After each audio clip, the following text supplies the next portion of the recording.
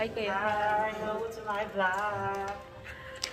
Hello to 1,100 Shangri-La po it is. Oh, welcome.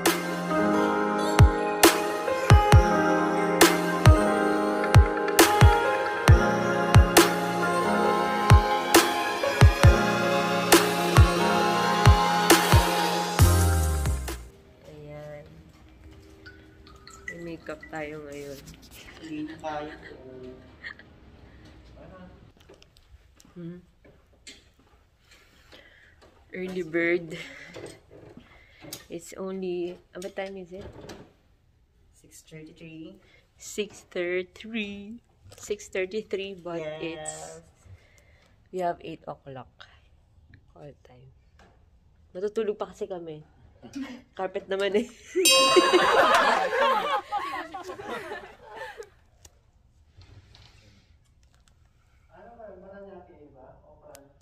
Paranaque po. So we're here at Paranaque A function room. So dito kami mag-makeup. So, Eto na.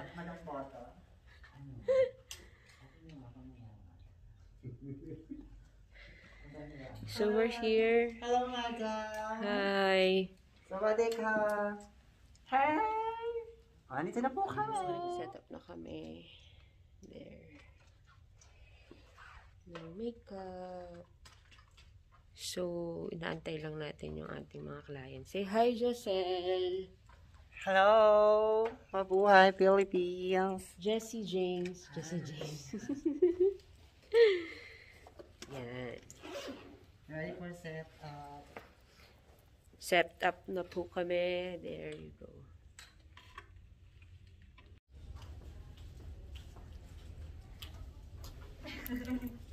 Video ba yan? Mm-mm. Hi. Hello.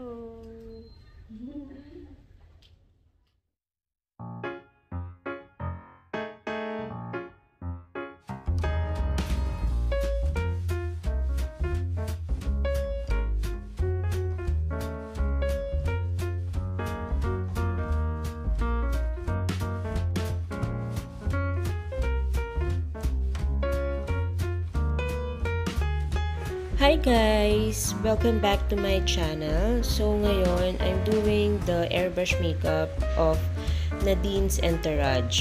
I'm doing airbrush makeup. So gusto nila light lang, parang Korean look. So hindi masyadong ganun ka-heavy yung uh, ginawa kong airbrush makeup sa kanila. So before doing that, of course, I asked them what kind of skin type they have. So, syempre mag adjust tayo doon as a makeup artist. So, uh, bali, five silang uh, bridesmaid na minikapan ko and one of them have a very sensitive skin. So, yung iba naman, uh, gusto lang na talaga light since uh, yung kanilang skin ay parang Korean. So, makinis po talaga ang mga skin nila. So, hindi mahirap i-correction, i-canvas. And then, uh, lagi po tayong mag-aas if uh, yung mga products natin na gagamitin natin for their skin is suitable for them. Baka naman kasi may mga allergies sila o may mga ginagamit talaga silang sarili. So, nagdala naman yung, yung ibang bridesmaid, nagdala ng sarili nilang makeup and skincare. So, I told them to do their skincare first before applying their own uh, primer or uh, uh, concealer. So, there. So, pero, when it comes to airbrush naman, nagustuhan nila kasi very, very light uh, airbrush makeup lang talaga siya. Before I start the makeup, I'll make sure all my equipments, lahat ng mga gagamitin ko is na-sanitize na and na-disinfect na. Okay? Para din sa safety ng aking mga clients. And then, uh, syempre, you have to ask them kung ano ang gusto nila talaga makeup. Hindi pwedeng yung makeup artist na yung magde-decide.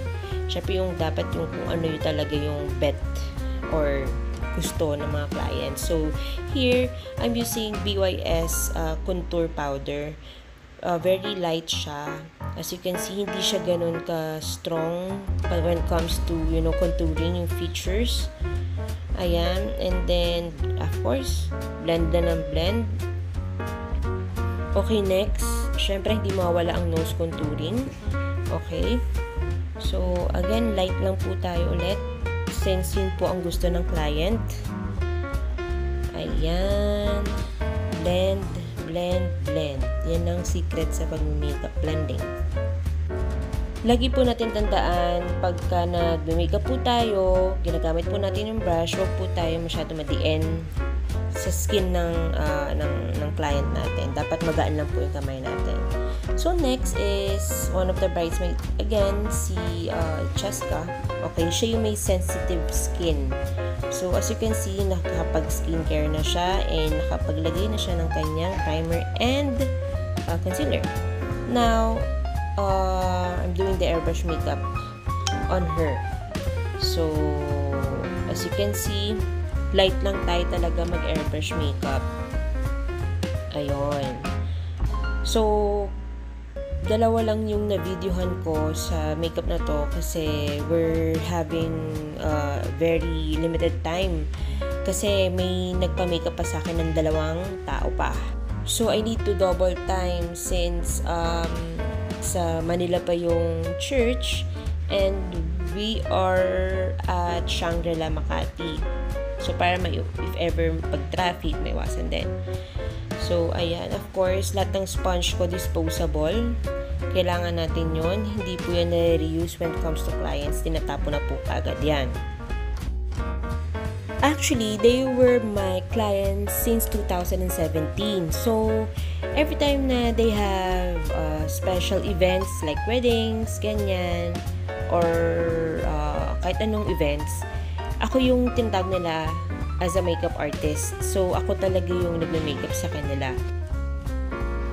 So, there's the bride, Nadine, and our friend JR. They were my friends since college So, talagang very close naman ako sa kanila and with the family. So, let's go back to our airbrush makeup. So, as you can see, light lang talaga yung pag-makeup ko sa kanila kasi yung pinakita nila sa akin na peg or pagagayahin ko ng makeup is mga Korean actress. So, for me as a makeup artist, uh, madali lang yun kasi light makeup lang din yung i-apply ko sa kanila.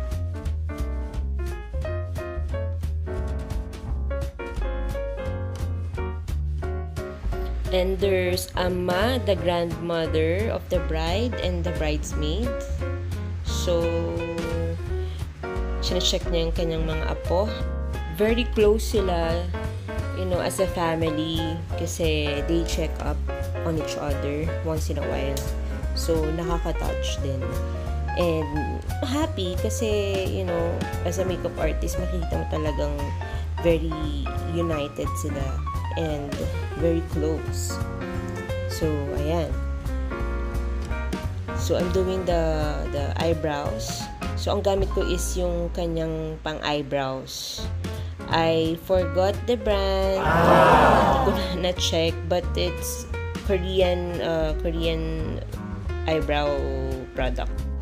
Pansin nyo, I'm using also her own makeup tools. Kasi nga, dahil nga very sensitive yung skin ni Cheska, so dapat yung talagang gamit niya yung gamitin ko. So, dapat uh, as the clients then kung may mga tools silang gagamitin, baka kasi very, ano sila yan, tawag dito, maselan, ba diba? Para ma-feel din ng client mo na, you know, you are concerned about their skin, ba diba? Hindi yung, uh, yung gusto mo lang yung gagamitin mo. Siyempre, madi-disappoint yung yung client mo pagka inunahan mo sila, 'di ba? You don't treat them as only your client, but treat them as your friend, as your family, so that, you know, ma-feel nila yung care na um, sa inyo while doing the makeup. Siyempre, you build a rapport, diba? Chichikahin mo ng very, very light. You know, para, you know, the connection between the the makeup artist and the client ay magaan lang. Diba?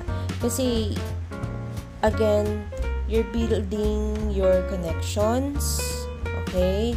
You're giving them a positive uh, outlook on the services you gave as an makeup artist. So, ganun lang, ganun lang po kadali.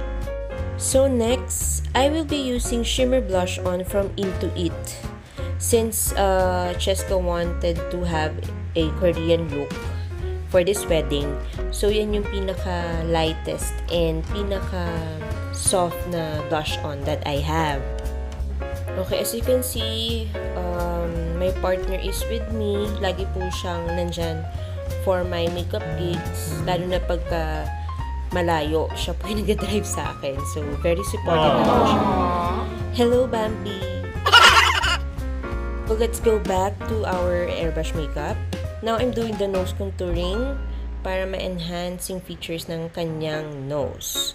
And after this, I will be showing you the pictures of the bridesmaids. Thank you.